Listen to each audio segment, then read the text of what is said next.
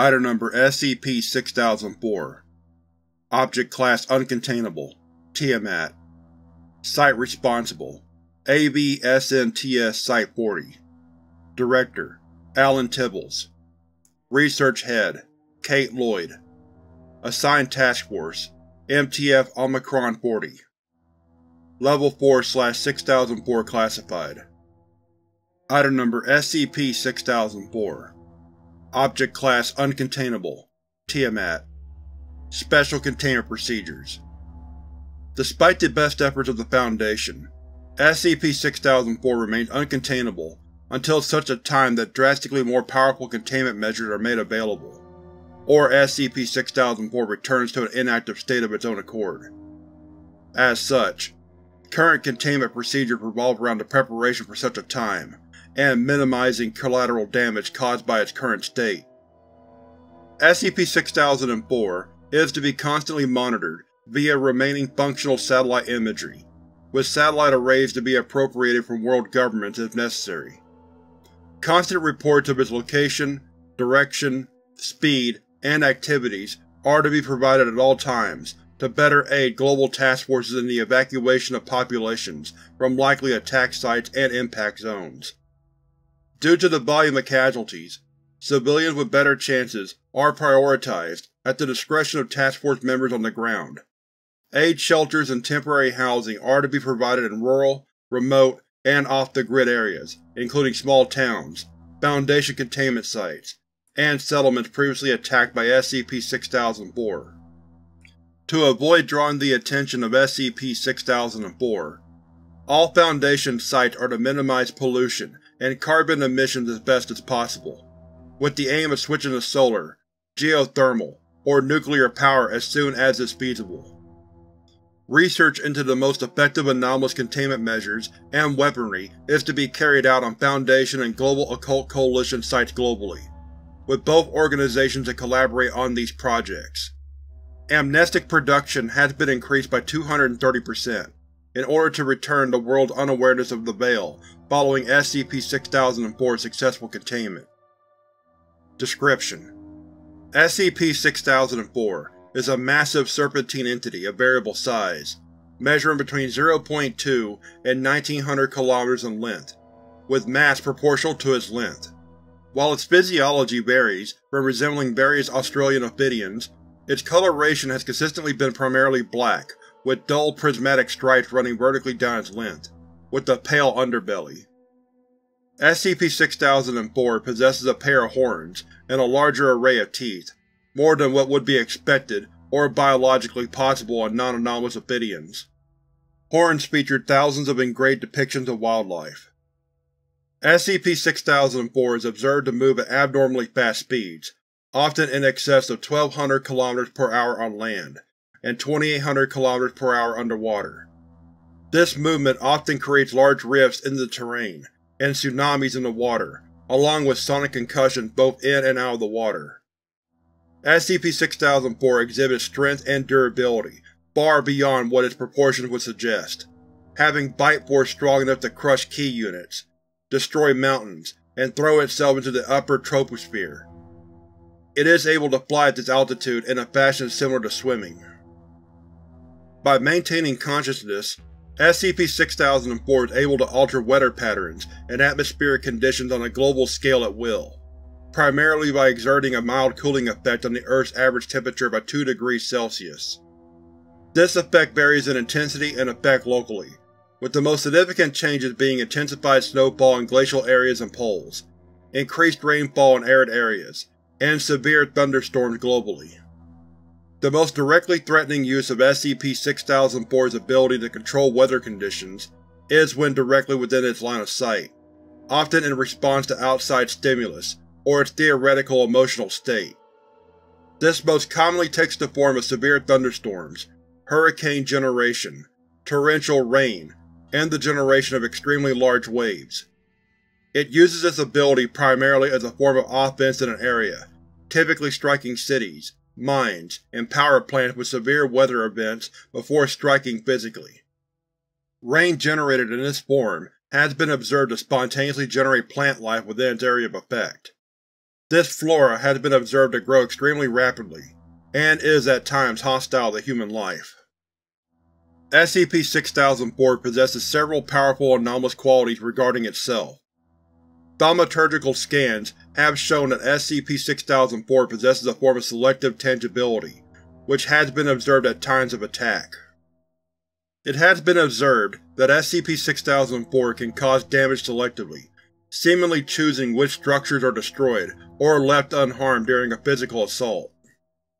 It often uses this ability when swallowing organic materials, primarily animals, while avoiding swallowing earth or buildings.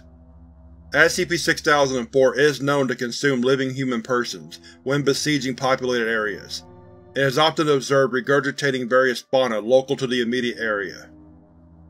Addendum 6004-1 Discovery and Early History of SCP-6004 Discovery and Early Investigation into SCP-6004 Statement from Site Director Alan Tibbles. Prior to the discovery of SCP-6004 in the March of 2020, there was much discussion within the Foundation regarding how much humanitarian aid to provide towards fighting the 2019-2020 Australian bushfires. We, of course, knew they were not our problem to deal with, being the result of non-anomalous climate change and poor government action. But it is human nature to want to help one another, and in the case of those of us at Australian sites, our homelands. Still, despite my own feelings towards the matter, we at Site-40 were spread too thin to offer any more than nominal support to firefighters and rescue groups, particularly with the growing concern that we had towards the unusual seismic activity being felt around the Australian continent. We knew it was anomalous. Emails and communication were sent back and forth discussing what to do. Ultimately, survey teams were dispatched to find their source, but due to the fires, these efforts were less than successful. We decided to wait until things calmed down before trying again. We all know now what a mistake that was. The lesson to be learned here is simple. We need to stop working around the poor decisions made by the non-anomalous world, and act more directly. Had we done that, we wouldn't be in the mess we now find ourselves. Discovery of SCP-6004 Beginning in December 1988, unusual seismic activity began to be detected throughout mainland Australia, and in particular around the eastern coast of New South Wales. Initially, this was not believed to be anomalous, and was ignored. However, over the following years, this seismic activity grew in intensity and frequency, until finally in 2019 it was decided that investigators would be dispatched from Site-40 to investigate.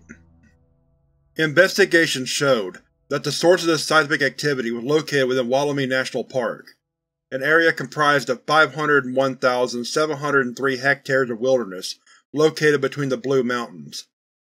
Investigations were halted before more precise measurements could be taken by the 2019-2020 bushfire season, when intense wildfires affected the area in question, and it was decided that investigation would resume upon the fires being put under control. While waiting for conditions to improve, drastically more intense seismic activity was detected from within the area, culminating on the February 10, 2020, when firefighter Mark Delaney was reported to have disobeyed orders while attempting the rescue of a panicked civilian who had fled into dangerous terrain within Wollemi National Park. The subsequent events led to SCP-6004 emerging from a subterranean cavern and departing the area. Foundation investigation into this event uncovered the remains of Mr. Delaney, pinned beneath a large granite boulder, located in close proximity to the ruined entrance to a large subterranean cabin surrounded by evidence of rock slides and an emergence event. The examination of Mr. Delaney's remains revealed a portable video camera worn on his helmet, and captured the events following his attempted rescue of the as-yet unknown civilian, leading up to the emergence of SCP-6004. A transcript of the recovered footage follows. Footage begins showing Mark Delaney, among other firefighters, standing among several parked fire trucks. Firefighters can be seen attempting to suppress intense fire fronts with high-pressure hoses, and visibility is very poor due to smoke and reflected light from intense flames. Mr. Delaney is requesting support from another firefighter and retrieving a ladder from a fire truck, when an unidentified woman is seen running towards the flames. Stop right there! The woman appears unable to hear Mr. Delaney, and is in a highly panicked state. She continues into the woodland at speed, with Mr. Delaney giving chase. Another firefighter can faintly be heard calling for him to stop. Jamie? Jamie, come back! Oi, no! It's too hot! Camera's view is largely obscured by smoke and embers as Mr. Delaney enters the woodland. The path appears wide, but is surrounded by intense flames. All that can be heard is the roar of the flames. Mr. Delaney continues to chase after the woman, occasionally swearing. The camera jolts violently for 8 seconds, causing Mr. Delaney to fall. He returns to his feet and resumes running. Fuck me, it's getting worse. Shit. Lady, come back! Mr. Delaney occasionally loses sight of the woman, running for an additional 83 seconds before entering a clearing on the edge of a ravine. Past the ravine, a massive flaming wilderness can be seen. The unidentified woman can be seen cowering at the edge of the ravine. Come here! Mr. Delaney approaches the woman, grabbing her and examining her. She appears hysterical and unresponsive to Mr. Delaney's questioning. Fucking hell. Okay. Okay. Mr. Delaney lifts the woman out of frame, presumably into a fireman's carry. The camera swings over the edge of the ravine, showing a large reptilian mass partially exposed by a fissure in the ground. Fuck me. The reptilian mass shifts, with the movement seemingly causing another earth tremor. Mr. Delaney stumbles, hanging onto the ground. A jutting ledge on the opposite side of the ravine splits from the surrounding earth, with several flaming trees falling into the scaled mass. The mass splinters away from the burning vegetation, and much more severe tremors begin. An extremely loud roaring sound can be heard, cutting out the audio for the remainder of the footage. The scaled mass retreats beneath the earth. The camera looks towards the sky, showing several lightning flashes through the smoke, and rain beginning to fall. Camera shake presumed to be a result of the earth tremors worsens, as the ravine returns to view. A much larger mass emerges from the earth, resulting in the upheaval of a significant quantity of stone and earth. Frame-by-frame -frame analysis shows that the mass is the head of SCP-6004, on fire invisibly roaring. Mr. Delaney and the unidentified woman are thrown back, with the camera pointing to the sky. SCP-6004 can be seen rising into the air before disappearing in the smoke. Torrential rain begins to fall on the frame. Flames recede. End log. Following the emergence of SCP-6004, severe thunderstorms rapidly formed over bushfire-affected areas in Australia, effectively dousing them by mid-March. While the Foundation began to track SCP-6004, investigation revealed that areas affected by these thunderstorms began to exhibit anomalously rapid plant growth. Additionally, both Foundation and mundane weather monitoring organizations detected a reversing of global warming trends. Addendum 6004-2 Early Behavior of SCP-6004 Initially, SCP-6004 remained airborne within these thunderstorms, which progressively expanded in area and began appearing further and further from the location of its origin point. Foundation monitors quickly realized that the anomalous rains formed by SCP-6004 were mainly forming above areas affected by desertification and deforestation.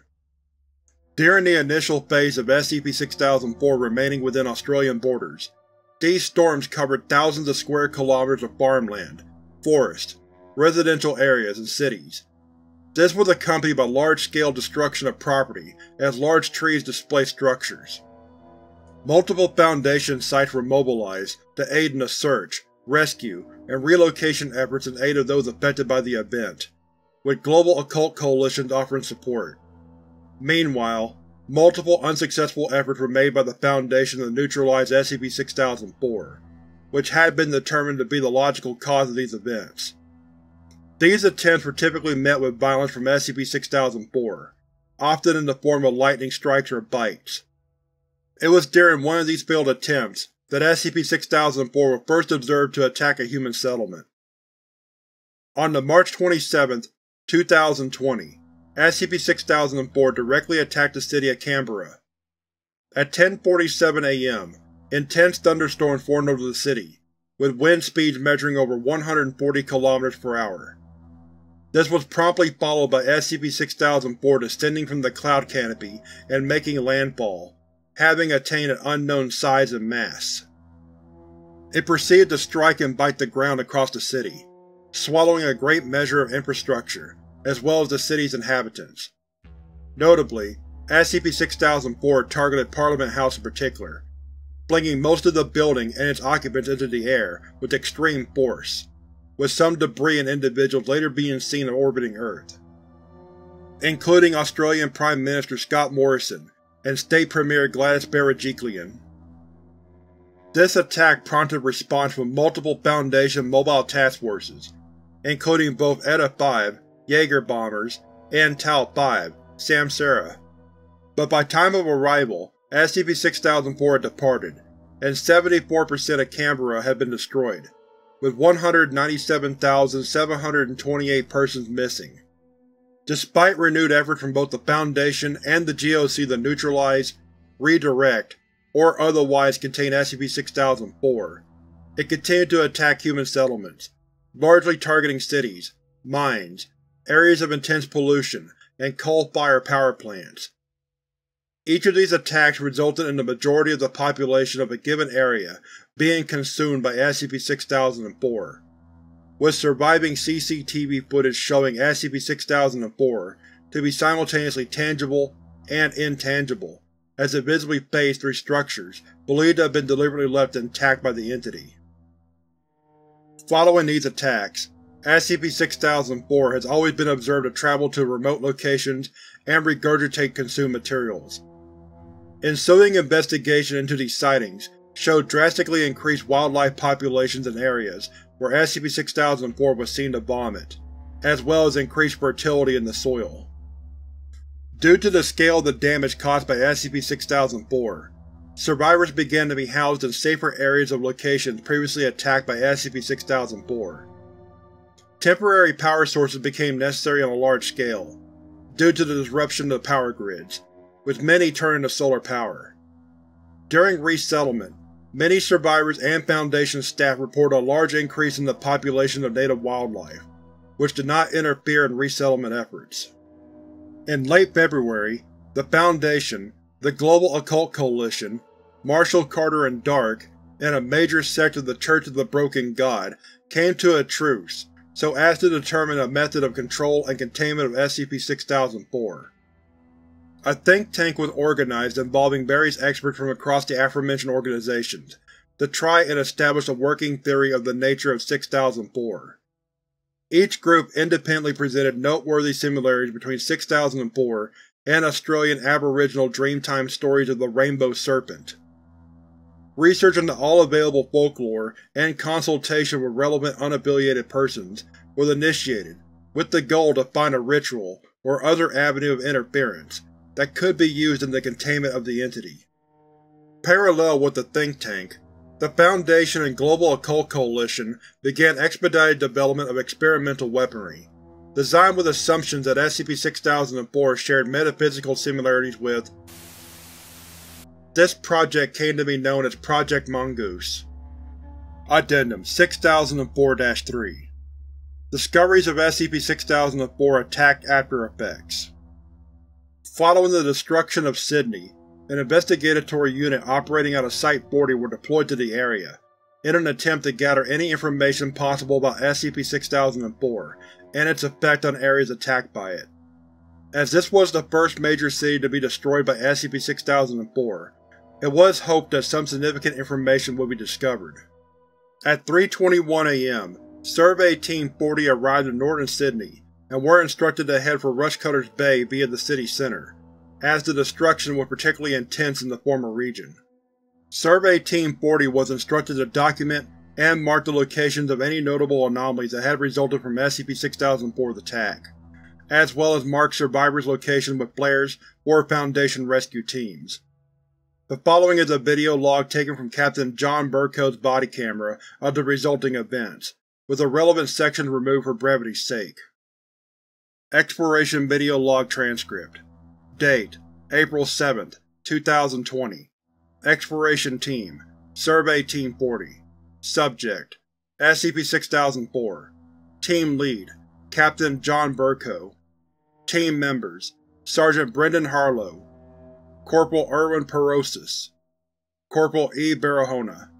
Begin Log Camera's view shows that Survey Team 40 is traveling on foot through Sydney City Center. Much of the surrounding structures are severely damaged by emerging plant life, particularly large eucalyptus trees, along with signs of massive impact events.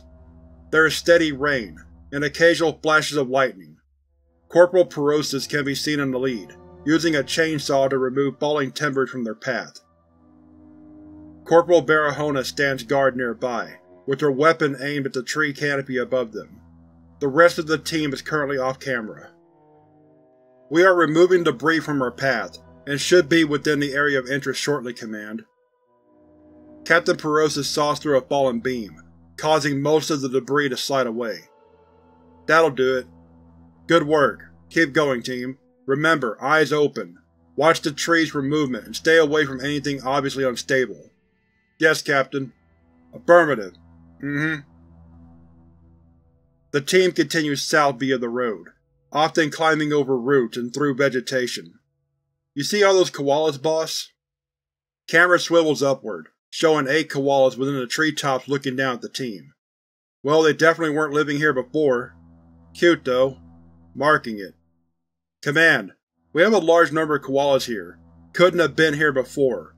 Marking the location now. Affirmative. This is consistent with other attack locations. Continue to your destination. Affirmative. Move out, guys.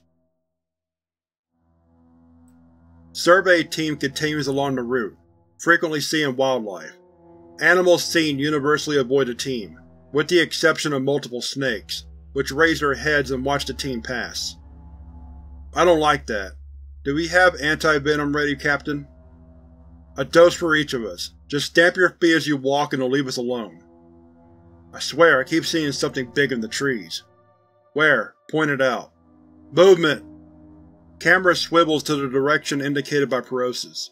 A large mass can be seen moving behind some vegetation. The team trained their weapons on it, with Perosis taking cover by a car close to the vegetation. Command, unidentified creature has been spotted, going to attempt to flush it out. Be careful. Barahona, toss that stone behind the bushes, see if it runs out.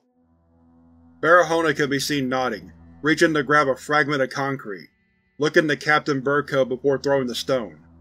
There is a dull thud and a deep grunting sound from the bushes as the creature moves towards the team. Shit, I hit it! Into cover, now! Barahona can be seen ducking into cover by a pile of rubble, and the camera begins to jolt in time with the sounds of the creature's footsteps. Vegetation is increasingly disturbed as it approaches. Fuck, it sounds huge.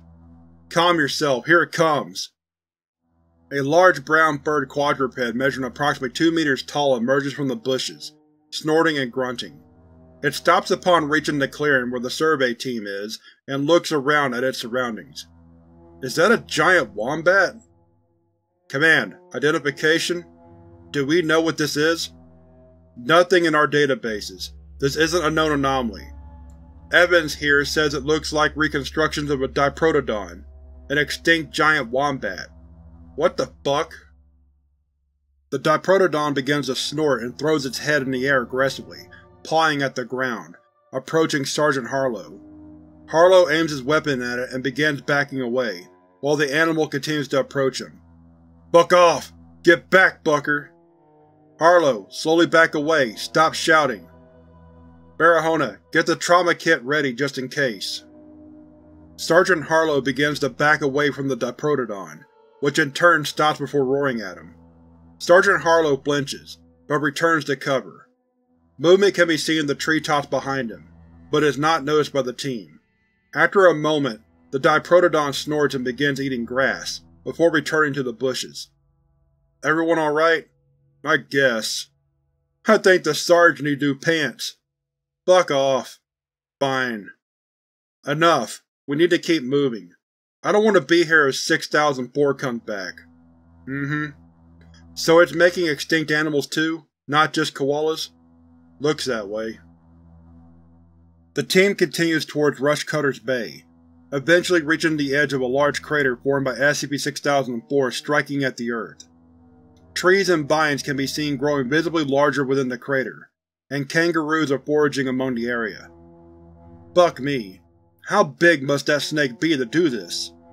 Varies. Eggheads at 40 says it changes between 400 meters to over a thousand k's long. Jesus. Command, we're going to need to detour around this area. Roger. Be advised, we have detected movement in the trees and buildings above you. Be careful. Buck. Diprowombats? Diprotodon. Diprotodon. Who cares? Whatever. Quiet. Acknowledge command. Teams, eyes up high. Mm-hmm. Survey Team 40 continues along the lip of the crater, before coming to a ruined apartment block overhanging the edge. A group of large kangaroos approximately 2.5 meters tall are grazing beside it, looking over at the team. Hold up. Go around them. Don't want to piss them off if we don't have to. They're huge! Evans has identified those as Procoptodon goliath, an extinct short-faced kangaroo. Given their size, I would recommend caution. Thanks. You heard our team. Steer clear. The team moves to circle around the animals, when Corporal Perosis is seen to swing his weapon and light towards the apartment building. A moderately large animal can be seen emerging from a hole in the wall, with its eyes reflecting the light into the camera. Watch it. Take cover. Weapons ready. Team takes cover and aims weapon towards the animal. It is a brown color with white stripes, a robust muscular build, and a large mouth with large teeth. It slowly climbs down the side of the building, towards the Procoptodons, which have turned to face the team. Am I the only one who thinks that looks like that thing up in Canada? Oh shit. Team, Evans here. That's a marsupial lion. Thylacoleo carnifex. Powerful predator. Looks like it's hunting the kangaroos. Assuming it works like normal predators, don't bother it and it should leave you alone. Assuming? Team, be ready to fire on the lion. Way ahead of you. Okay, Got it. The Thylacoleo carnifex drops from the building to the back of a Procoptodon, grabbing it and biting it around the neck. The other Procoptodons scatter rapidly, fleeing into the trees. The two animals struggle, before the Thylacoleo subdues the Procoptodon, removing the head and beginning to drag the carcass back up the side of the apartment block. Two smaller Thylacoleos can be seen at the edge of the hole where the larger instance emerged from, vocalizing loudly. Holy shit! Fuck me! Easy guys, easy. Harlow, cover me while I recover the head. Yes, Captain. Marco approaches the severed Procoptodon head, with the camera repeatedly swiveling to see where the Thylacoleo went. Burko picks up the head and goes to place it in a containment pouch. Hold on. Is that a tattoo? What? Burko turns the head over and examines it. The words Live, Laugh, Love can be seen tattooed on the brow ridge of the Procoptodon, along with a stylized human skull on the right side of the face. Holy shit! End log. Afterward. Following review of the footage, these tattoos were matched to those on John Baring, a tattoo artist whose body was not recovered following SCP-6004's attack on Sydney. It is now believed that all animals emerging in the wake of SCP-6004 attacks are people that have been transfigured into wildlife within SCP-6004 before being regurgitated.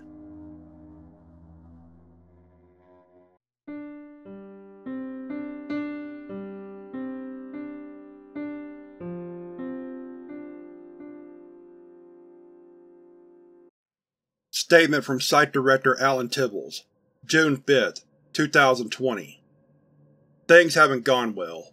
From the total loss of Australia, the discovery that it's eating us and vomiting us up as animals, and the veil of secrecy being annihilated, it's been a bad few months. I know many of you don't believe that we can turn this around, but you're wrong. The Foundation has always managed to tip the scales back to our favor. Time and again we have contained the uncontainable, and recontained it when it escaped. We have saved humanity time and again from extinction. We have handled the whims of mad gods and bent the will of world governments. We have restarted the world a time or two. So I say this. We will rebuild what this snake has destroyed. We will find its weakness, and we will lock it away.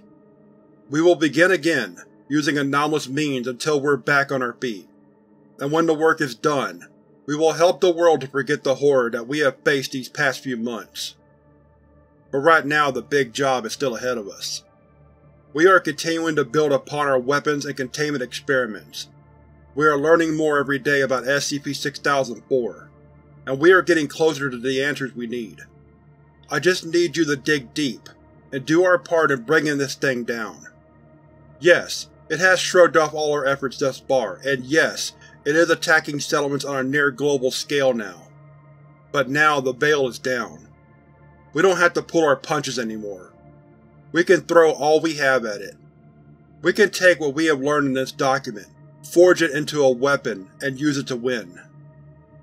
Expansion of SCP-6004's Area of Activity In the weeks following the destruction of Sydney, Australia, SCP-6004 went on to not only attack all other major Australian settlements, but extend its range into Asia, Europe, Africa, and Antarctica, where it behaved similarly.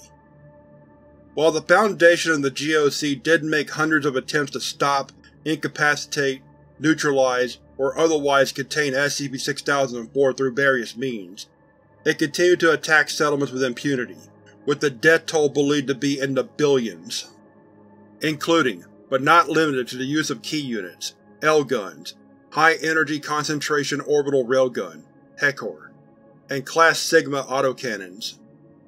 Worldwide, SCP-6004 has now lowered the average global temperature by 0.7 degrees Celsius, replenished glacial and polar ice, and refilled depleted lake and river systems. Much of the world's deforestation has been reversed, and dozens of species of wildlife have been declared no longer endangered or extinct. It is estimated that over 40% of human metropolitan areas, over 60,000 pop, have been rendered uninhabitable within SCP-6004's area of effect, and relocation projects have been made a priority. Due to SCP-6004's targeting of dams, coal fire plants, and large cities, Numerous temporary solar power arrays and nuclear power plants have been erected worldwide to cope with power demands, and both the Foundation and the Global Occult Coalition has resorted to anomalous means of food production to aid in the supply of rations to refugees. The handling of governments worldwide has become a priority, as many nations have moved to defend themselves from SCP-6004 militarily. The Global Occult Coalition has volunteered to use its United Nations channels to manage the issue, with the focus being on ensuring global government's priority is on the rescue and shelter of citizens, rather than the bolstering of military forces, which has thus far proven ineffective at best and provocative at worst. While media suppression was possible in the weeks immediately following the emergence of SCP-6004, albeit extremely difficult, the expanding area subjected to SCP-6004's attacks has made it impossible to conceal the truth from the eyes of the world. As of now, the veil of secrecy is to be considered broken, and no further efforts to conceal the existence or effects of SCP-6004 are being made, as this has been deemed a waste of Foundation resources. It is hoped that the lowered global population may aid in global anesthetization programs in the event that SCP-6004 be successfully contained or neutralized. The following table has been made for the purpose of determining a pattern of behavior in regards to SCP-6004. For the sake of brevity, hundreds of examples have been omitted, with more data to be added as events unfold. Location Description Events Death Toll Notes Canberra, Australia Capital City Direct Attack SCP-6004 landed on the city and rapidly struck at it with its mouth, accompanied by hurricane-force winds and thunderstorms. 197,728 SCP-6004 appeared to target Parliament House in particular, a trend seen reflected in subsequent attacks on capital cities. Sydney, Australia Coastal City Environmental attack SCP-6004 remained in the clouds, only striking the ground occasionally, while tsunamis flooded the city. Severe winds and storms also in effect. 3,129,428 The offices of major mining and oil companies were specifically targeted with physical strikes from SCP-6004, as was the area of Rushcutters Bay, specifically Rio Tinto and BHP. Temperate forests rapidly took hold following the event. Hong Kong, People's Republic of China, PRC Island City Direct attack following multiple days of severe storms and monsoons. SCP-6004 dropped its tail into the sea, and swept multiple massive waves at Hong Kong Island before landing its entire mass between Hong Kong Island and Kowloon. 6,284,300 Despite the thoroughness of the attack, multiple skyscrapers remain standing. Aral Sea Kazakhstan, Uzbekistan Former lake. Refilled by rainstorms over a period of months. 9. Lightning strikes and flood damage caused most of the Soviet irrigation systems responsible for the drainage of the Aral Sea to be destroyed, allowing water flow to return to pre-Soviet routes. Great Pacific Garbage Patch Garbage Patch A perpetual rainstorm has formed over the area. Plastics and other debris hit by this rain are observed to transform into multiple different forms of marine life, including fish, cetaceans, coral polyps, jellyfish, and… 0. It is estimated that the garbage patch will have been reduced to a negligible size by 2022. Three Gorges Dam People's Republic of China PRC People's Republic of China PRC Direct Attack SCP-6004 directly struck at the dam from the air multiple times, destroying the entire structure. 406,184,000 Following the impact, 37 billion cubic meters of water flooded down the Yangtze River, with widespread flooding in the Hubei, Hunan, Jiangsu, Anhui, Jiangsu, and Zhejiang provinces. Shashi City, Gezhouba Dam, Xicheng, Jingjiang, Wuhan, Nanjing, and Shanghai were all destroyed. Despite multiple drainage attempts prior to the attack, the perpetual thunderstorms to the north of the river caused by SCP-6004 had caused the dam's reservoir to be extremely full. Taichung Power Plant, Taiwan Coal-fire power plant. Multiple lightning strikes entered the plant, causing a series of steam explosions. Unknown. The precise nature of the rapid lightning strikes suggests that SCP-6004 is able to understand the plant's function by unknown means. Mount Kenya Glaciers, Kenya Glaciers All 11 glaciers atop Mount Kenya began rapidly expanding at the same time as SCP-6004 awoke. Northey, Krapf, Gregory, Lewis, Diamond, Darwin, Orel, Heim, Tyndall, Cesar, and Joseph. 0. It is estimated that all glaciers will return to pre-1890 levels by 2030.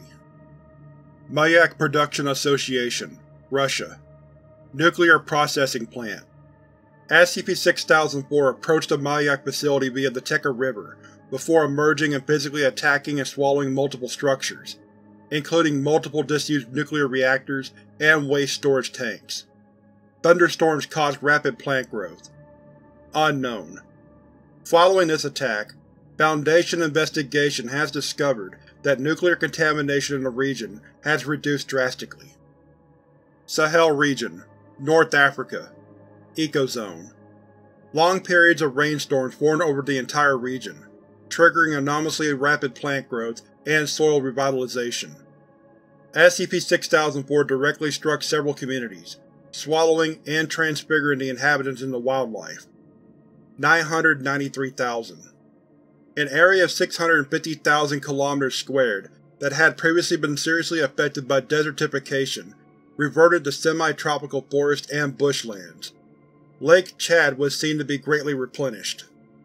Congo Basin, Central Africa Tropical rainforest, river system Widespread reforestation as a result of SCP-6004's rainstorms. Multiple settlements within the area previously within forest boundaries were attacked, and the occupants transfigured into endangered wildlife. 48,500,000 An area 148,460 km squared has been converted to rainforest in the Democratic Republic of the Congo alone. Numerous endangered and previously extinct animals have been reported to be inhabiting the area in large numbers. Eastern Australian Temperate Forest, Grazing Lands, Australia Former Forest, Grazing Lands SCP-6004 directly attacked grazing lands over a period of several weeks, consuming over 70 million livestock animals, before rainstorms transformed the growth of native flora in the form of temperate forest. 300,000 Wildlife regurgitated by SCP-6004 in this area has primarily been previously extinct animals, and has drastically changed the local environment. The presence of numerous specimens of carnivorous megafauna in the area has rendered the area unlikely to be resettled in the future. Antarctica Pole SCP-6004 flew over much of Antarctica, causing increased snowfall and causing increased auroras over the southern pole. Increased snowfall resulted in the reformation of approximately 3 trillion tons of ice. 0. SCP-6004 was seen to circle Mount Sidley for 19 days. The reason for this is currently unknown, despite Foundation investigation.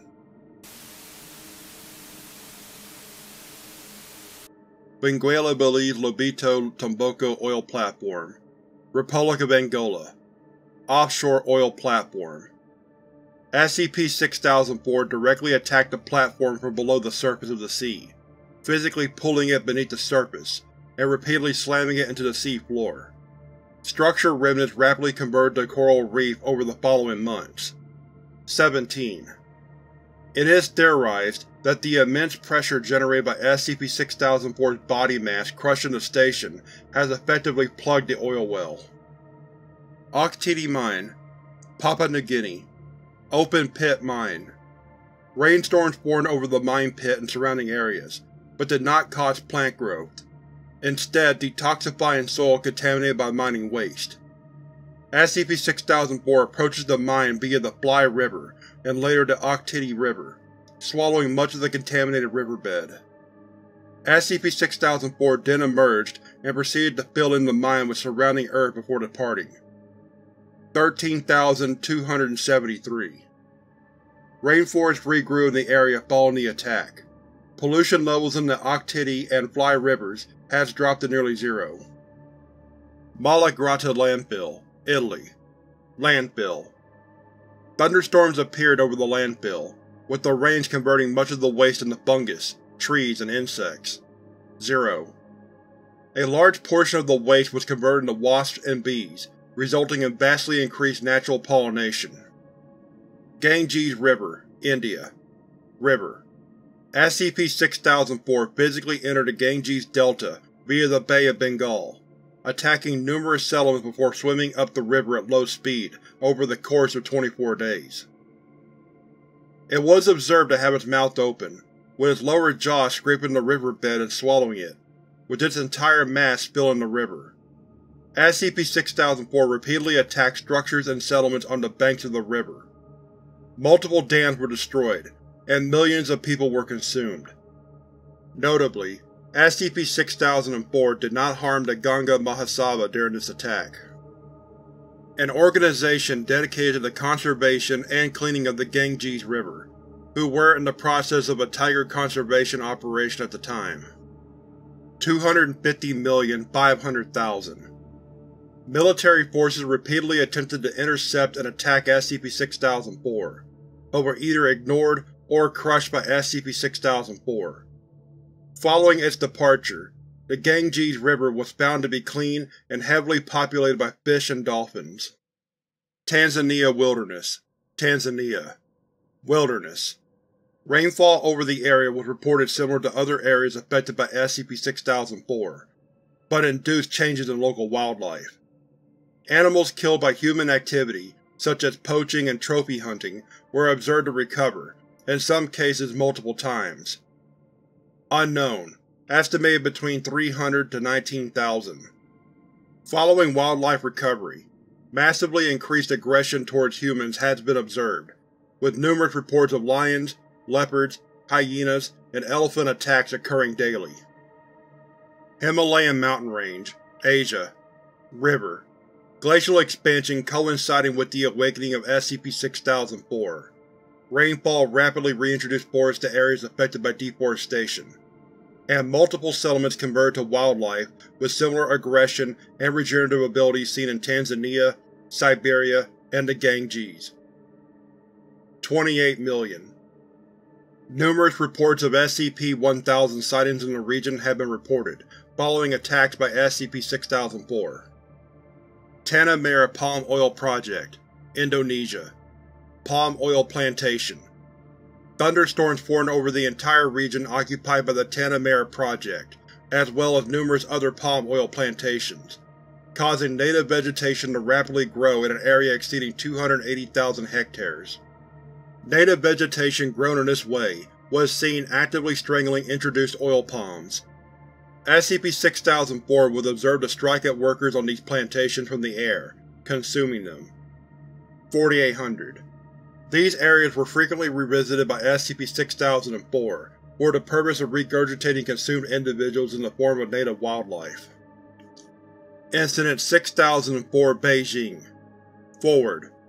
Following the destruction of the Three Gorges Dam, Foundation plants within the Chinese government reported significant unrest within the party.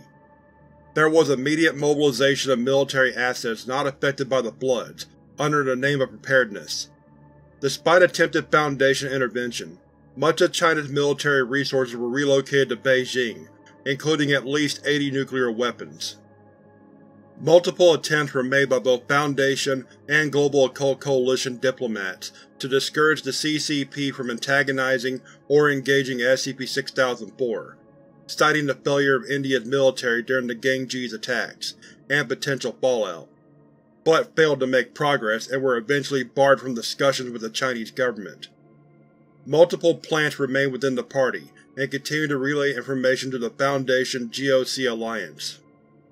Rather than use further resources attempting to negotiate with China, it was determined that the Foundation would continue to prioritize the attempted containment of SCP-6004, and the development of Project Mongoose. At 4.23 p.m., the October 27, 2020 Foundation satellites detected SCP-6004 was airborne, and approaching the Jinji metropolitan region. Shortly afterwards, Site-40 received the following message from Agent Zhou Wei, who was embedded within the government.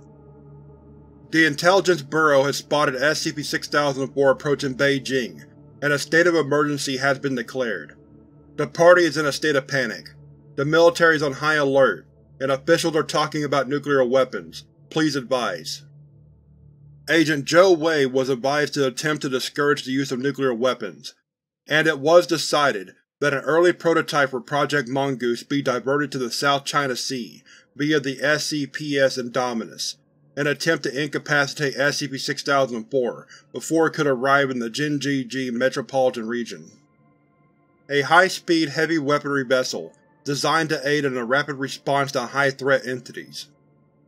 It was theorized that despite operating at 37% of the capacity of the projected output of the finished weapon, the prototype would be able to induce unconsciousness or a sleep state within SCP-6004. Recovered military footage Camera feed shows a battalion of soldiers readying to attack outside the city of Lhasa. Multiple artillery and rocket launch platforms can be seen, and it is raining heavily. Lightning frequently illuminates the scene. SCP-6004 can be seen approaching from the southwest within the cloud cover approximately 8 km away. A sergeant can be seen in the foreground on a radio, requesting for Air Force support. SCP-6004's head dips below the clouds as it approaches. It visibly shifts appearance to resemble different species of Ophidians simultaneously. It roars loudly. Multiple rocket platforms appear to be readied. The Sergeant gestures to several soldiers and points at SCP-6004, which is rapidly approaching. Multiple gunships enter frame, approaching SCP-6004 and opening fire. SCP-6004 does not react, and continues northeast. A gunship is forced to take evasive action, as a coil of SCP-6004's body emerges from cloud cover. SCP-6004's motion causes it to collide with the gunship, which detonates. An order to fire can be heard from the Sergeant's radio. Eighteen ballistic missiles are seen being launched from the ground, entering the cloud cover, detonating above the clouds. Multiple soldiers can be seen staring at the clouds. Some can be heard asking one another if SCP-6004 has been killed. SCP-6004 emerges from the clouds at high speed, roaring and continuing northeast. Multiple lightning strikes hit the area, with most of the soldiers being killed instantly. Task forces operating out of multiple Chinese Foundation sites were mobilized, to aid in the evacuation of civilians across the projected path of SCP-6004. As the evacuations were carried out, numerous Chinese Air Force combatants were dispatched to attack SCP-6004. Multiple eyewitness accounts reported SCP-6004 largely ignoring these attacks. SCP-6004 continued heading northeast towards Beijing, with widespread thunderstorms and anomalous plant growth following in its wake.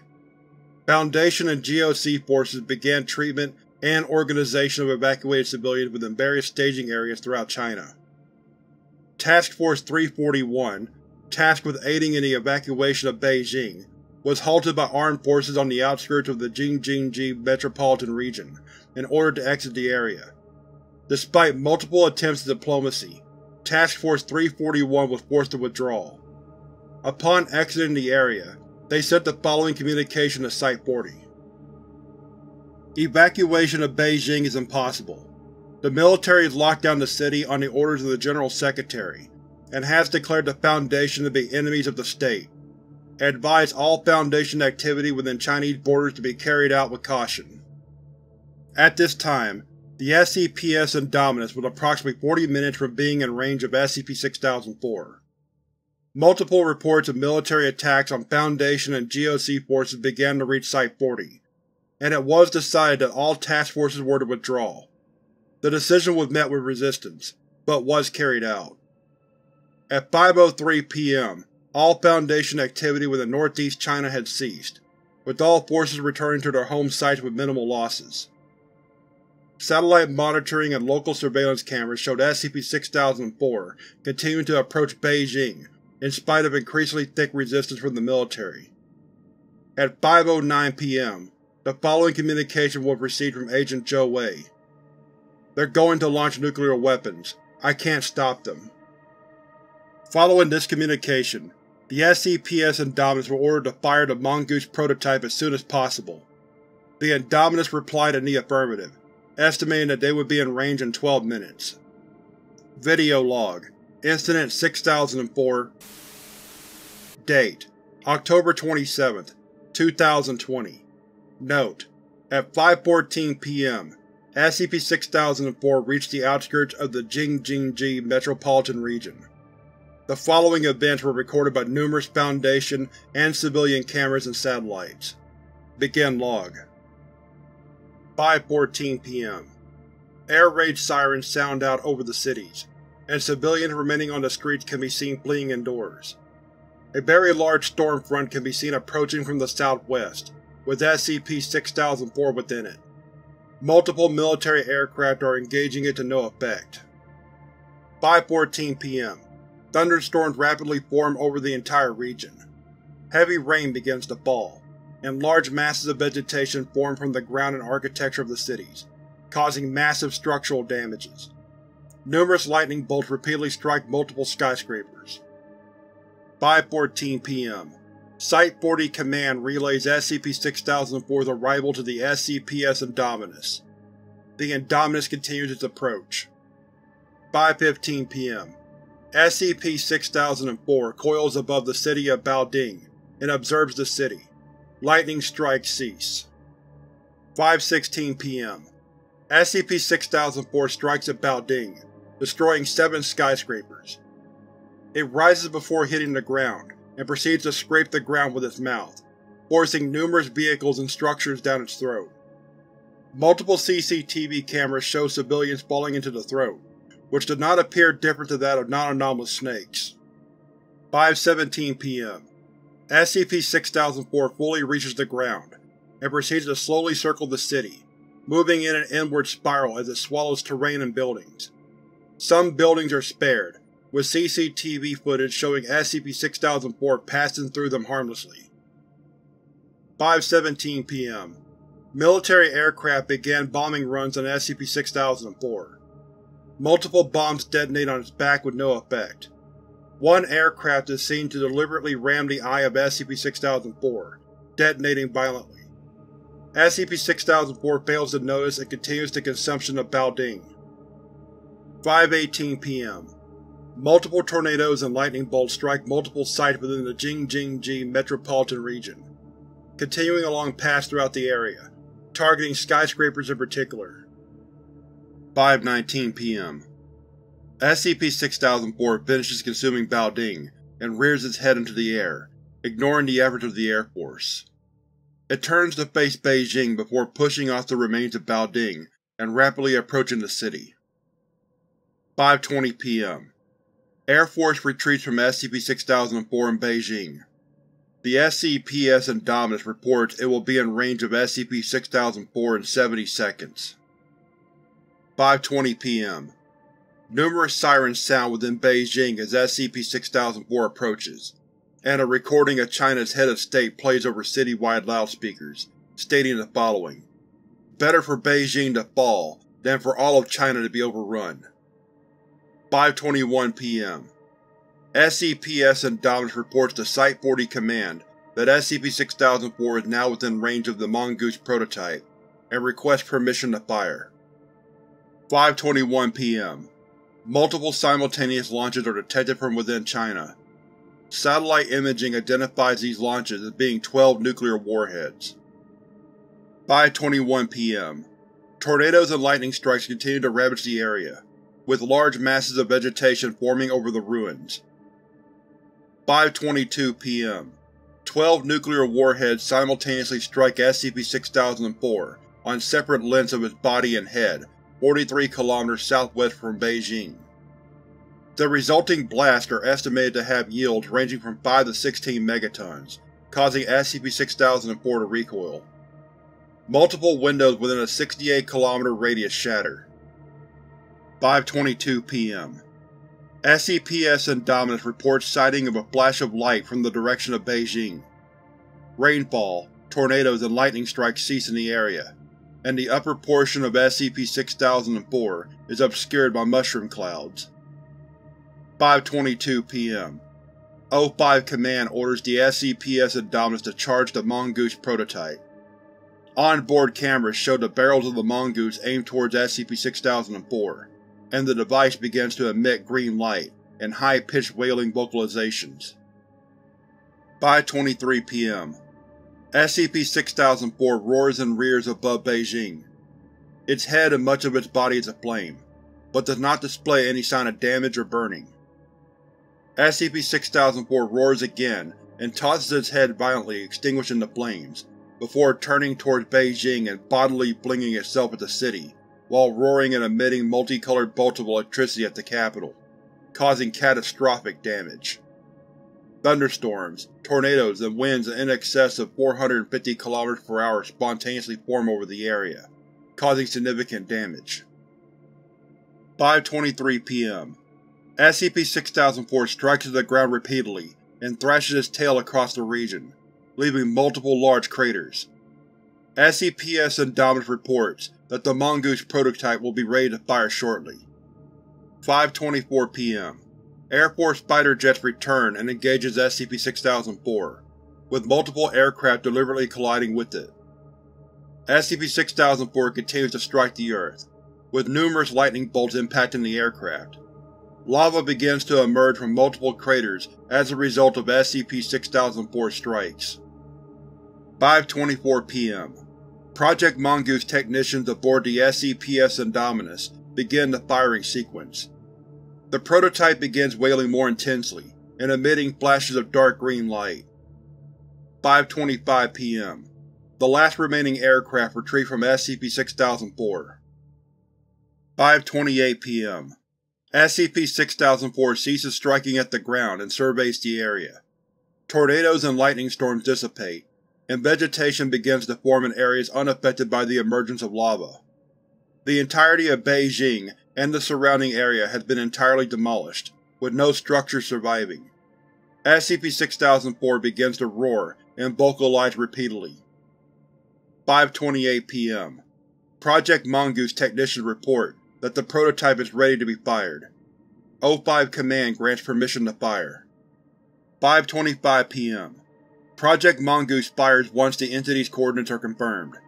Crew of SCPS Indominus lost upon activation. A large sustained beam comprised of fires from Project Mongoose, accompanied by an intense screaming sound. Satellite visuals are lost as a result of the weapons firing. 5.30 p.m. A fault occurs within the Mongoose prototype, causing an energy failure and cessation of fire and vocalization. 5.30 p.m. Satellite visuals are regained as weapons vocalization cease. Entity appears to have taken notice of the beam. 5.31 p.m. SCP-6004 rapidly propels itself into the cloud cover, visibly tracking the Mongoose beam as it passes and impacts the Jundu Mountains, destroying approximately 32 km squared. 5.32 p.m. The entity emits a low vocalization and approaches the SCPS Indominus, entering the South China Sea and raising its head out of the water to inspect the Project Mongoose prototype for the following four minutes, before submerging itself beneath the surface and leaving the area. End log. Following the departure of SCP-6004 from the area, no search and rescue operations were carried out in the Jing-Jin-Ji metropolitan region.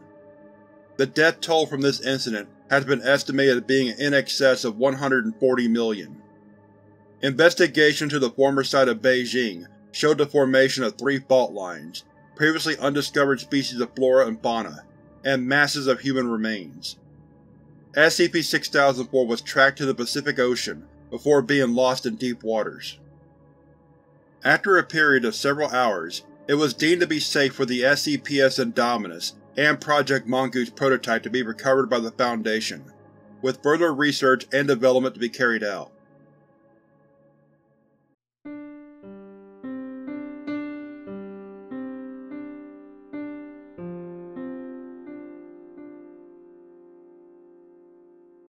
Project Mongoose An Overview Forward Following the emergence of SCP-6004, multiple attempts at containment were made.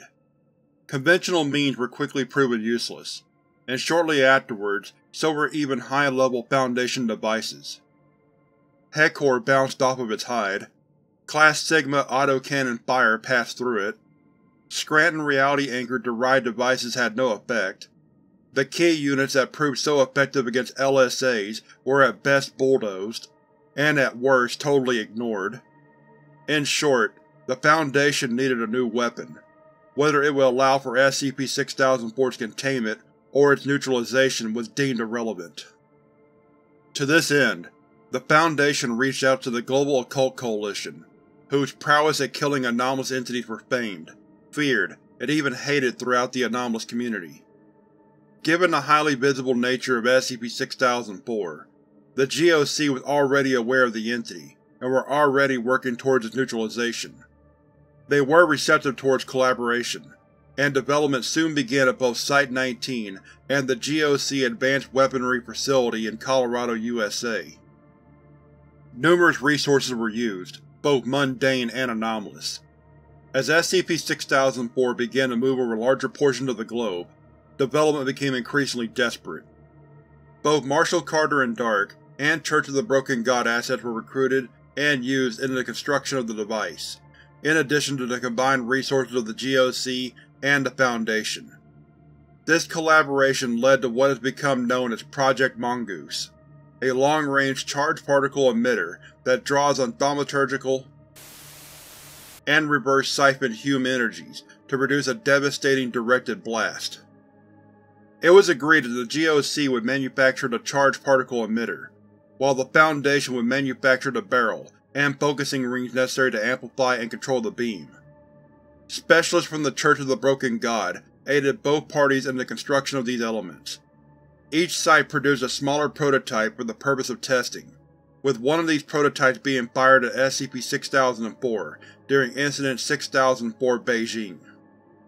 As of November 23, 2020, SCP-6004 has expanded its area of operation to encompass the entire globe.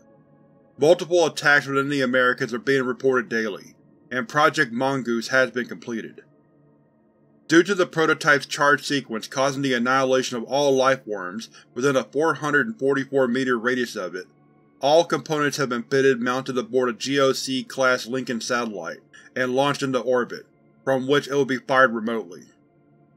Due to the immense energy requirements and complex reactions, Orbital Project Mongoose requires 444 seconds to fire after the location has been locked. As such, it is now the Foundation's responsibility to fire Orbital Project Mongoose at SCP-6004 when an opportunity arises, with all efforts being made to create such a window of opportunity.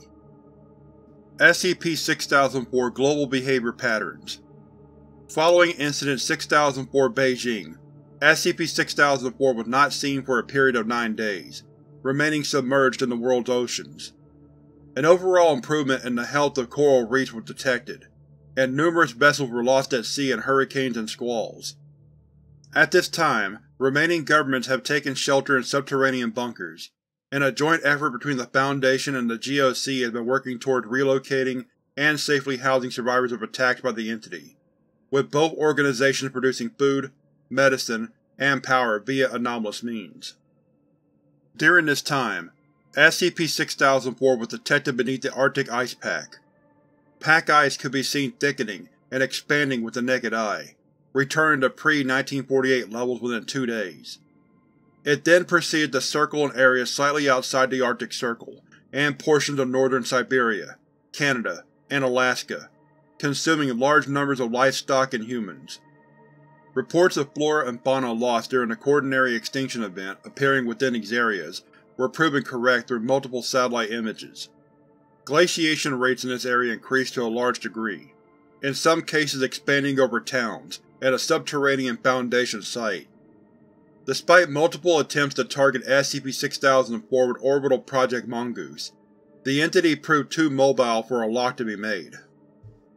SCP-6004 then shifted its focus to the Americas, causing widespread rainstorms, plant growth, and reintroduction of endangered and extinct species coincided with mass disappearances of civilian populations within densely populated cities throughout much of South America, with a particularly large portion of time and activity centered on the Amazon rainforest. The entity was observed to move over much of the Americas, changing direction seemingly at random, but following the established pattern of targeting large urban centers and environmentally damaging installations. Of note, the entity was first seen in the United States of America when it attacked Washington Of note, the entity was first seen in the United States of America when it attacked Washington, D.C. via the Potomac River. It was observed to actively engage with military forces by roaring and vocalizing at them before striking them with lightning. The attack took place over a 40-minute period, where it proceeded to consume large portions of the city. Attempts to evacuate the U.S. President and staff failed when the Presidential Emergency Operations Center was flooded when SCP-6004 caused the Potomac River to flood much of the city ruins. A secure bunker constructed beneath the east wing of the White House, designed to allow the President of the United States to safely govern during periods of crisis. SCP-6004 continued in this fashion over much of the United States, Mexico, and Canada, striking particularly hard at large cities such as Toronto, Los Angeles, Mexico City, New York City, Ottawa, and La Paz. Enormous stretches of land were converted to forest by anomalous rainfall generated by SCP-6004, with large number of people and animals being consumed and regurgitated by the entity. Approximately 43% of the United States. Of note, disruption to the United States power grid by SCP-6004 triggered the cascade failures of numerous nuclear power plants, necessitating Foundation and GOC intervention to prevent multiple nuclear meltdowns from occurring. Foundation historians and archaeologists have conducted extensive research into Australian Aboriginal mythology, particularly in regards to the Rainbow Serpent. It is now believed that oral Dreamtime stories passed down over millennia refer to confrontations with SCP-6004, and that the entity has attacked humanity before. These attacks have been preceded by periods of environmental instability, and were often resolved by various rituals, abandonment of environmentally damaging practices, or in some cases by guardian spirits, engaging the Rainbow Serpent in battle. Typically animal totems, such as the goanna or crocodile.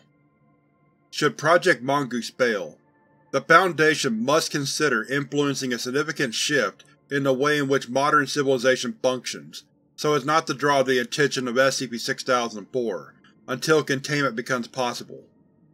The prospect of seeking out one of these protector spirits to intervene on behalf of the Foundation is also being considered, with the goanna Dirawong being seen as an ideal candidate.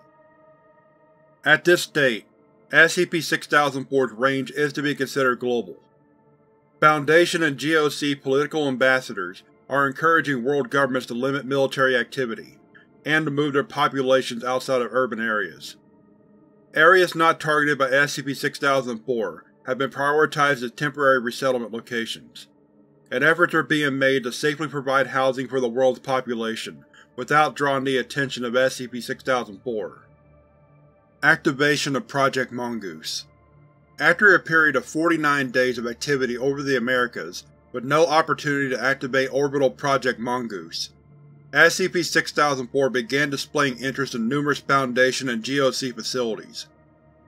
The entity would often circle sites, but not approach for unknown reasons. It was during one of these events, on the December 24, 2020, that SCP-6004 began examining Global Occult Coalition Advanced Weaponry Facility, one of the two locations where Project Mongoose was developed. At 4.37 p.m., SCP-6004 began to investigate the Advanced Weapons Facility, exhibiting signs of agitation. Satellite imaging showed the facility enter a lockdown, with multiple weapons platforms being activated, including the GOC-operated Mongoose prototype. It was, at this time, that the O5 Council voted 8 to 5 to fire Orbital Project Mongoose upon both SCP-6004 and the Advanced Weapons Facility. The following is a log of the ensuing events. Video log. Date: December 24, 2020 Note: The following events were captured via satellite imagery aboard various Foundation monitoring satellites, as well as cameras mounted aboard the Orbital Project Mongoose satellite platform. Begin log. 4.38 p.m. SCP-6004 can be seen circling the GOC Advanced Weapons Facility AWF on the ground, appearing increasingly agitated. The AWF has initiated a lockdown, with multiple weapons platforms tracking the entity. Of note is a Project Mongoose prototype, which appears to be charged and ready to fire. 4.38 p.m. Orbital Project Mongoose is activated, and begins its charging sequence. Guidance rails and focusing rings can be seen moving into position as the barrel system aims at both the AWF and SCP-6004.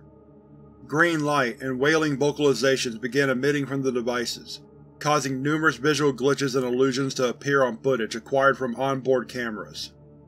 A full log of these errors can be seen in Document 6004 Mongoose-Illusions. GOC access to Orbital Project Mongoose is blocked. 4.39 p.m. The GOC attempts to contact Site-19, but are ignored. Multiple attempts to access Project Mongoose are detected and blocked. Diplomatic ambassadors are sent to meeting sites to ensure GOC cooperation. 4.39 p.m. SCP-6004 vocalizes loudly, and continues circling the site, seeming to direct the vocalization at the AWF. 4.40 p.m. Movement from SCP-6004 causes a portion of the AWF's exterior to separate from the surrounding mountainside, resulting in an unidentified weapons platform mounted to this region to fire prematurely. The projectile impacts SCP-6004's tail and detonates violently, but causes no damage to the entity. 4.40 p.m. SCP-6004 ceases vocalizing at the AWF for a moment, before roaring and coiling back into a striking position. Multiple weapons platforms begin firing at the entity, and numerous shielding devices can be seen activating. Wind speeds immediately increase drastically, and rainstorms spontaneously generate. 4.41 p.m. Orbital Project Mongoose begins emitting pulses of energy as it enters its criticality stage. 4.41 p.m. SCP-6004 strikes the AWF, destroying a large portion of the mountainside which the site is housed in. The AWF Mongoose prototype fires at SCP-6004, with a sustained beam following the entity's movements. The beam can be seen visibly irritating SCP-6004's skin on contact, and causes it to recoil and begin dodging the beam, vocalizing loudly and staring at the prototype. 4.42 p.m. Multiple energy pulses are seen emitting from the AWF Mongoose prototype, annihilating all vegetation within 200 meters of the weapon. Multiple lightning bolts strike at the site, but are redirected by GOC shield generators. SCP-6004 attempts to fling large portions of earth and rock towards the Mongoose prototype with its tail, but is unsuccessful due to the site's shielding system. SCP-6004 continues to move evasively. 4.43 p.m. Following several seconds of uninterrupted impact from the Mongoose prototype, SCP-6004 roars and emits a stream of multicolored energy from its mouth towards the prototype, causing it to misfire re-enter a charging phase. SCP-6004 proceeds to wrap around the mountain and strike down at the Mongoose prototype, resulting in a massive energy discharge. This discharge is largely negated by the remaining shield devices. 4.43 p.m. Orbital Project Mongoose readies to fire. 4.44 p.m. SCP-6004 continues to strike down to AWF, breaching the top of the facility. GOC operatives can be seen within attempting to evacuate the facility, with some directing small arms fire at the entity. SCP-6004 roars and rears back in preparation for another strike. 4.44 p.m. Orbital Project Mongoose fires a sustained beam, with resultant vocalizations being heard by surrounding satellites and in a 44 km radius of the AWF. Reported as sounding like a metallic scream. SCP-6004 raises its head towards the source of the noise, and is engulfed in the beam along with the AWF. The beam's impact annihilates the AWF, with the weapon's energy flood and negative Hume field disintegrating all life forms within a 444 km radius. 4.47 p.m. Orbital Project Mongoose ceases firing on the orders of the O5 Council. The GOC AWF and surrounding mountains have been completely destroyed, with a large crater having been formed by the beam's impact. SCP-6004 can be seen within the crater and surrounding areas of devastation, displaying moderate burns over much of its body. 4.47 p.m. SCP-6004 rises from the ground and roars, thrashing its head and tail as lightning emits from multiple points on its body, and the burns to its scales heal rapidly. Rainfall and wind speed intensifies, and the entity begins to rapidly expand and coil around itself, looking upwards. Visual contact is lost as storm clouds thicken. The O5 Council orders Orbital Project Mongoose to fire again. 4.47 p.m.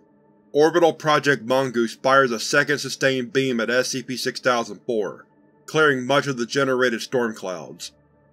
SCP-6004 can be seen struggling against a beam and coiling on the ground before rapidly launching itself upwards. 4.48 p.m. SCP-6004's head approaches Orbital Project Mongoose. Firing ceases automatically, as proximity sensors detect an imminent collision with the entity. SCP-6004 proceeds to grab the Project Mongoose satellite platform within its mouth, causing catastrophic damage to the Mongoose, before falling back down to the upper troposphere and rapidly approaching Site-19. End log. Following the failure of Project Mongoose, all contact with Site-19 was lost. Later assessment discovered that the upper levels of the site had suffered catastrophic damage. In keeping with SCP-6004's pattern of devastation, the upper six levels had collapsed and been strangled by extremely robust vegetation. A majority of the structure's upper floors have been displaced, with the remains of Project Mongoose largely annihilated. Multiple safe and Euclid-class SCP objects had breached containment, being either destroyed in the event or still currently missing. The lower levels of the site remain uncompromised. Rescue efforts following the attack were able to evacuate percent of surviving staff. The following statement was provided by Site Technician Wagner. I, uh, I was working on a broken fast access cart down in Euclid Block. All the lights went red and the alarms were going off, so I rolled out from underneath and started running to the shelters. You know, pretty standard stuff. I thought it was a containment breach, yeah? Then the banging and the explosion started. It felt like an earthquake. Everything was shaking. You could hear the upper levels caving in, even. I was so busy looking at the supports, I didn't watch my feet, and I fell, got trampled pretty bad. The bulkhead shut before I could get into the shelter and I was fucked. I ran down to the workshop. There was an LSA attack vehicle there with shit brakes. I jumped in, held my hands over my ears and watched the security feed before it went down. It felt like I was watching the end of the world. That fucking snake had crushed a whole eastern compound, thrown a satellite or some shit into the admin ward. All the guns and missiles were unloading on it, and it was like trying to put out a wildfire with a water balloon. I saw it scream on the video. I heard it all the way down. 23, 24 floors down. Ruptured both of my eardrums. Then it started blasting us with that rainbow lightning. The feed cut out and the roof collapsed. Water started pouring in and I thought I was going to drown. I'm glad it started draining down to one of the lower levels. I could hear the people in the bunker screaming. Something had gotten in there with them. I don't want to know what. Then, just like that, there was another quake, and it had gone. MTF rolled in not long after, rescued those of us who'd survived, got started on getting the skips back in their cells. Heard a lot of the D-Class guys help with the rescuing. I'm just glad I didn't try and dig down to the rest of the site. Following rescue and evacuation efforts, it was determined through witness interviews that SCP-6004 had attacked Site-19 largely through the use of the same energy seen in Beijing and the GOC-AWF, throwing orbital Project Mongoose at the site's administration wing, and by physically landing on the eastern compound, before striking at the main site. This was confirmed by the recovery of the Guardian AI log, which documented the AI's attempt to defend the site from SCP-6004. An automated defensive AI, programmed to autonomously operate site-wide defense systems. Addendum 6004-5 Recovered Guardian AI Log Threat detected SCP-6004 approaching Site. Arrival imminent. Secondary threat detected. Project Mongoose weapons platform damaged. Site destruction probability 96%. Defenses engaged. Shield strength 100%. Ammunition reserves 98%. Distress signal engaged. Alert sounded. Projected staff survival rate 23%. Containment wing sealed. Target systems locked. Firing. All weapon systems firing. Imminent attack detected. SCP-6004 Electrical projectile attack. Shield strength 0%. Shields offline. Estimated casualties 18,000. Impact detection East Wing Estimated casualties 48,000. Structures damaged. Transport depot. Staff barracks. Cafeteria. East Wing Scientific Development. East Wing Armory. Threat detected. Project Mongoose weapons platform. Damaged.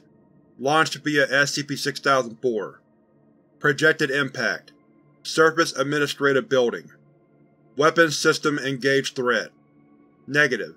Risk of triggering Project Mongoose Energy Pulse Threat detected. Flash flooding entering site. Impact detection. Surface Administrative Building. Estimated casualties 51,000. Structures damaged. Surface Administrative Building. Impact detection. SCP-6004 Electrical Projectile Attack. Affected Area of Site Surface 87%. Affected Area of Site Subterranean 39%. Weapons System Offline Safe Class Containment Wing Compromised Euclid Class Containment Wing Partially compromised Keter Class Containment Wing Uncompromised Threat detected. Imminent physical strike from SCP-6004 upon main structure. Reserve power redirection. Kinetic shields. Kinetic shield power 493%. Impact detected. Central containment structure. Kinetic shields offline. Structures damaged. Levels negative 26 through 19. Safe Class Containment Wing. Euclid Class Containment Wing. Keter Class Containment Wing.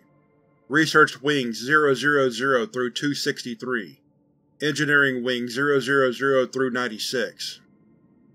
Estimated casualties 273,000. Threat detected. Multiple containment breaches. SCP objects breached. SCP-173 SCP-939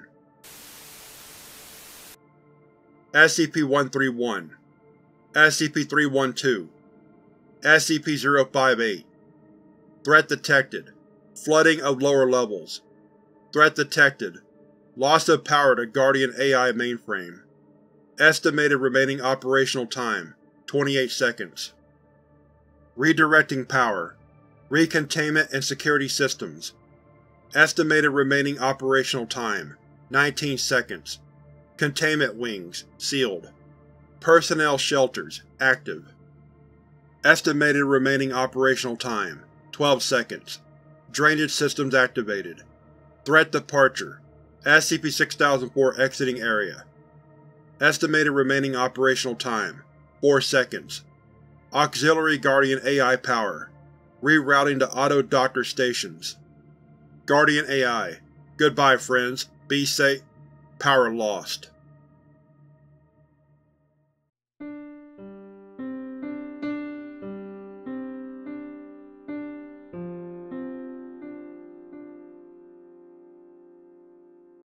A word from Director Alan Tibbles, January 15, 2021. These have been some very hard months. Entire cities were annihilated. Countries damn near depopulated. Sites lost. Anomalies escaped. Truces made and broken. Friends, family, and loved ones we'll never see again were killed or turned into animals. The Veil's gone. The Foundation's resources have been drained on a failed project, and the world as we know it is pretty much over. But so are the attacks. SCP-6004 has revisited the site of its awakening. It hasn't hit a single city in weeks, and rain has stopped making forests. There is hope now, light at the end of the tunnel. This thing is going to sleep. We have excellent leads on how to keep it that way, and we will ensure it never wakes up again.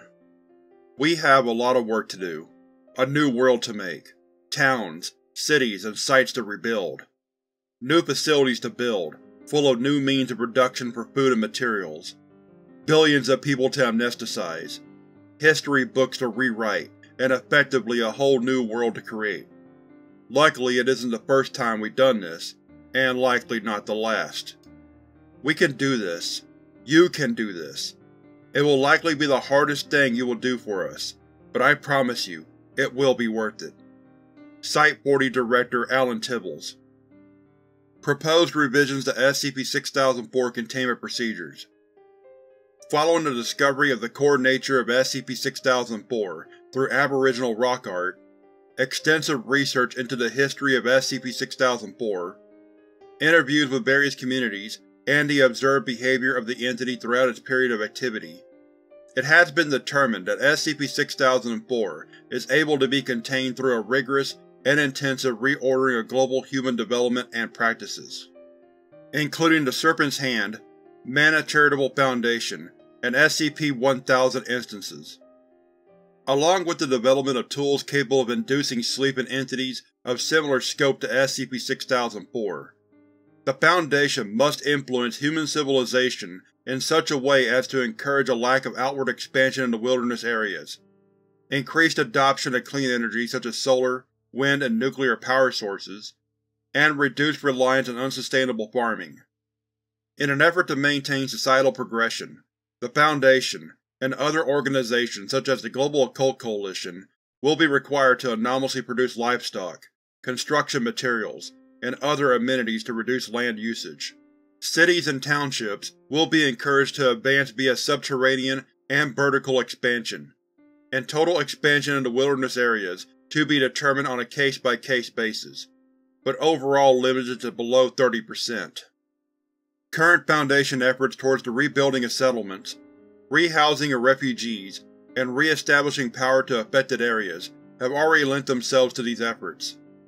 Areas not targeted by SCP-6004 were naturally selected to house refugees, and at no point did the entity attack solar or wind farms, leading to more widespread use out of convenience. It is believed that these sites and power sources will be ideal launching pads for the implementation of these proposed containment measures, and numerous locations suitable for the development of further cities, towns, and Foundation complexes have already been identified. These measures are extreme, and will require the cooperation of both world governments and groups of interest. But in the face of SCP-6004 returning, they are warranted until such a time as the Foundation is able to fully contain the entity. Reduction in SCP-6004 Hostility Post-2001 Behavior of SCP-6004 by Dr. Kate Lloyd Abstract Since the conclusion of 2021, SCP-6004 has displayed significantly less aggressive tendencies when compared to earlier behaviors. It is hypothesized that this is due to two main contributing factors, that the revised containment procedures have appeased the entity, and that it has essentially achieved the majority of its goals following its awakening. Each of these factors are evidenced by several observations and statements. Based on these factors, and SCP-6004's continued behavior, it is projected that the entity will soon return to a sleep state. Effectiveness of revised containment procedures Towards the end of 2021, the Foundation implemented revised containment procedures designed to appease SCP-6004, based on Australian Aboriginal Dreamtime lore. Since the implementation of these new procedures, SCP-6004 has been significantly calmer, having been observed ignoring multiple Foundation rebuilding efforts, not attacking a single human settlement, and appearing non-hostile during this time. The following examples point towards this behavior being the result of these revised containment procedures. On the January 19, 2022, SCP-6004 arrived at Site-40B of the coast, raised its head from the sea, and observed the site for a period of six minutes. This event was witnessed by Corporal Erwin Perosis of Survey Team 40, who was participating in a training exercise at the time. When asked for a summary of the event, he stated the following. I was holding up a log for my team when it came, raised up out of the sea. The whole time it was staring at the building, like it was looking at it before it even came up. Everyone was scared. We'd heard about 19 and that GOC base, thought it was here to do the same. But it didn't do anything. It just stared at us. The base first, the power systems building, us training, the director out on the observation deck, the shitload of guns pointing at it, everything, just taking it all in. It felt like we were being judged, you know. You could feel it even more than you could see it. Then, after a minute, it flicked out its tongue, turned around, and swam away. In addition to the above, SCP-6004 has been observed spending a great deal of time at the area formerly housing the GOC's Advanced Weapons Facility. Despite multiple attempts to dig out lake beds and river sites, the rains generated by the entity have failed to produce lakes, rivers, or trigger plant growths as seen in other areas, with wildlife regurgitated by the entity all expiring within hours of placement. Previous models of SCP-6004's behavior suggest that such events would trigger violent outbursts from the entity, yet it has only responded by leaving the area. SCP-6004 then proceeded to the Amazon rainforest, where it remained for a further three days. Achievement of SCP-6004's Goals The other primary cause of SCP-6004's reduced hostility is likely a result of it achieving its goals, primarily the reversion of the global environment to a state similar to that of pre-human habitation, and the repopulation of various species of endangered and extinct flora and fauna. It has been observed that as global temperatures have fallen, SCP-6004 has appeared less aggressive. The same can be said in regards to global wildlife populations rising, and the reduction of air pollution.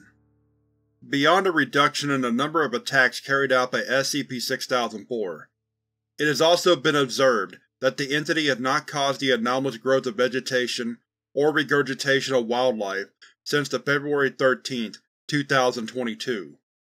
While attacks on human structures and settlements can be seen as an expression of aggression on behalf of SCP-6004, the generation of forest, wildlife, lakes, and rivers is exclusively motivated by returning its environment to a pre-human state. The cessation of this behavior indicates that the entity is satisfied with the current world state. Other behaviors of SCP-6004 Following its visitation to the Amazon rainforest, SCP-6004 has been sighted resting within large bodies of water multiple times. Its movements have become noticeably more sluggish, displaying signs of fatigue including yawning. It has been heading in a consistently west-southwesterly direction, with predictive models placing it as heading towards the Wollemi National Park, where it was first discovered. Conclusion Barring unforeseen outcomes, or provocation of SCP-6004. It is estimated that it will return to the site of its discovery by late October 2022, and enter a period of hibernation. As such, Project Mongoose research is being utilized in the development of technologies capable of ensuring that SCP-6004 remains in hibernation, which will be installed on location when ready. Following this, it's possible that the widespread use of amnestics on global populations may allow the Foundation to rebuild a veil of secrecy, and resume its previous mission. Addendum 6004-6 Following the containment of SCP-6004, attacks on humans by wild animals have continued to be much more frequent than before its discovery. These attacks have universally occurred within newly formed wilderness areas, and display the use of teamwork beyond the capabilities of species involved, with some cases involving the cooperation of multiple differing species. However, these attacks have become less frequent as time progresses. Eyewitness statements have observed that where animal species would previously chase or attack any individual found within wilderness areas, animals have more frequently been seen to observe people at a distance, often withdrawing after a short period of time. Attacks by these animals can be broadly categorized into five categories rabid, provoked, defensive, predatory, and guided. The former four varieties are considered typical and not a Foundation concern, except in the fifth variety. Guided attacks are believed to occur under the influence of SCP-6004. The working theory is that SCP-6004 is in whole or in part responsible for this behavior, and it may involve lingering influence associated with apparent desire to prevent human impact on natural environments. While attacks of this nature were previously observed to be immediate and coordinated, more recent encounters appear to have been limited to individuals who were in the process of activities discouraged by current containment procedures, such as land clearing, waste dumping, and recreational hunting. Given the trend of observation before attack, it is believed that sustainable low-impact activities within wilderness areas will soon be safe for the civilian population to engage in, along with low-impact construction.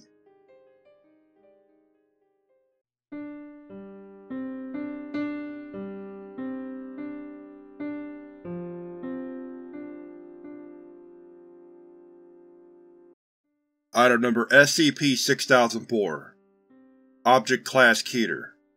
Site Responsible. ABS-NTS Provisional Site 6004 Director Kate Lloyd. Research Head Monaro Needy. Assigned Task Force MTF Omicron 40 Level 4-6004 Classified. Item Number SCP-6004 Object Class Keter. Special Containment Procedures The portion of Wollemi National Park containing SCP-6004, a recently formed lake over a subterranean cavern with an approximate diameter of 450 meters, is to be restricted from public access. Under no circumstance may civilian or governmental individuals enter the containment area. Should this occur, all persons involved are to be detained, questioned, and amnesticized before being released. A total of 27 Lloyd Tibbles consciousness nullification devices have been installed around the perimeter of the containment area, at a depth of 4 to 28 meters, in an effort to ensure SCP-6004 does not exit its hibernation. Derived from Project Mongoose, Scranton Reality Anchors, and other technologies provided by donors and derived from assets, Lloyd Tibbles Consciousness Nullification Devices LTCNDs, are designed to block an entity from accessing a conscious state of mind, locking them into states of consciousness ranging from sleep, coma, or even a cessation of all awareness. For a more comprehensive summary of LTCNDs, refer to document Lloyd Tibble CND-40-6004. To further ensure SCP-6004 does not breach containment, the Foundation is to continue to encourage world governments to limit expansion into wilderness areas. All human activity within these areas must be as non-destructive as possible. To ensure this, the new modern culture has adopted appropriate trends and practices under the covert guidance of the Foundation. A joint effort between the Foundation, the Global Occult Coalition, and the Manna Charitable Foundation has been established to anonymously produce food, construction, and technological materials rendered impractical to produce conventionally by these containment procedures. Description: SCP-6004 is an extremely large serpentine entity, currently measuring approximately 700 km in length and 1.3 times 10 to the 17th power kilograms in weight, currently in a state of hibernation within a submerged cavern located in the area of Wollemi National Park, New South Wales, Australia. SCP-6004's appearance has been noted to shift in the past, and currently resembles an extremely large Oxyuranus scutellatus, common taipan, with features of Morelia spilota, carpet python.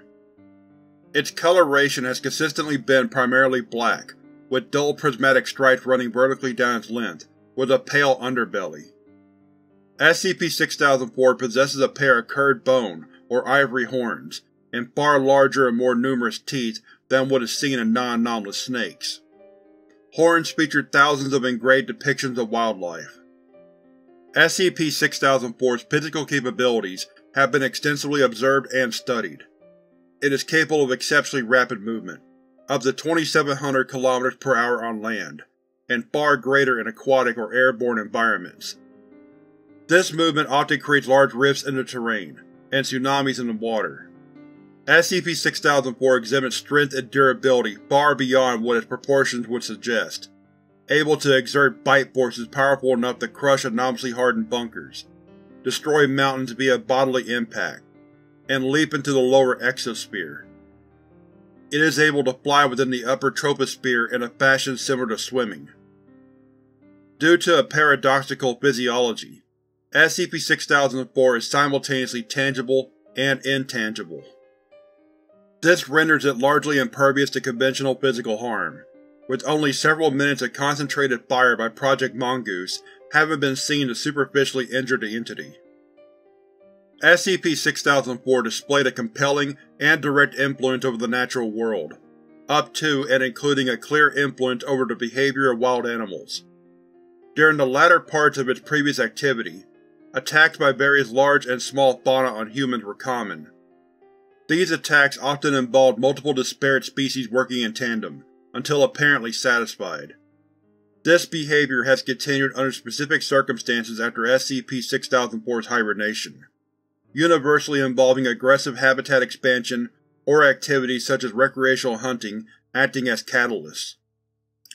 It is extremely probable that any future conscious activity on the part of SCP-6004 may lead to the extinction of human civilization. For this reason, for the survival of society, it must remain asleep.